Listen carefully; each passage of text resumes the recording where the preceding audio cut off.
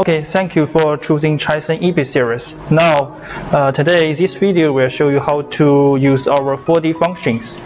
Okay, first, when we get uh, appropriate 4D images, uh, photo center plane, like this, okay, then we press 4D key here, press it, and you can get the, our interesting box like this. We can use uh, move our trackball to move the position of this interesting box and press enter key. You can change the size of this interesting box. Okay, you can see here we have an update key. Press it. You can change the curve line.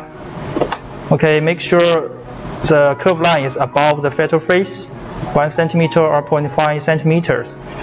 And uh, once you all do this adjustment, you press left key and you can get the 4D images like this. And here we have different parameters.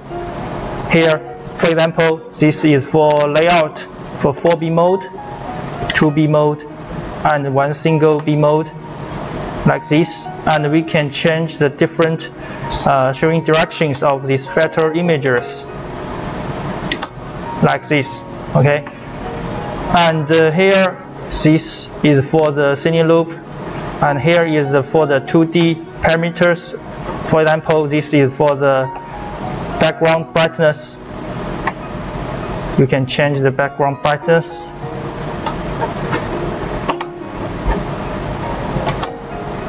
And uh, for this images brightness, like this, just change it. And uh, also this for the contrast position of the images and this for the 4D also in the 4D same way.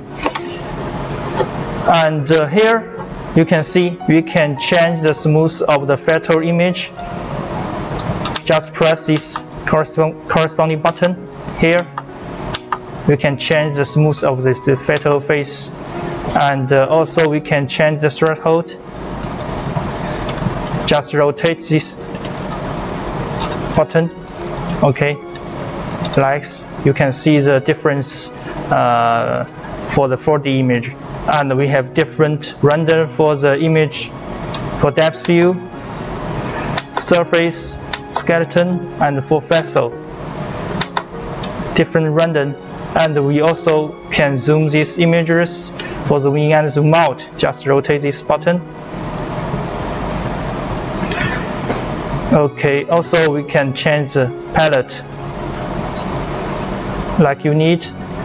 And here you can change if you want once you activate the virtual HD function here, just press it.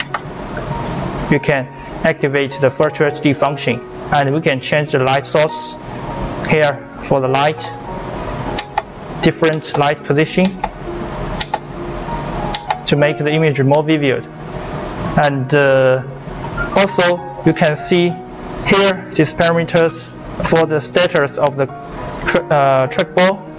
Here you can see we have the curve line status panning status and the light status. You can see we press menu key to change for different status. For example for curve line here you can see we can press AIO button here to change the status for the ROI interesting box, you can use your rotate this key to change the ROI interesting box size for different XY position for X, Y, Z. Press it to change to Y, XY, and rotate it to change. And uh, also we press menu key again, change to panning mode. Then you can use your trackball to move the panning position like this and uh, press again to change to light then you can use your trackball to change the position of the light source like this okay once you get your uh, a suitable uh, suitable images and you press this key to save vector image and here to save the Cine loop. Okay, this is for the 4D training for EBIT series today. Thank you.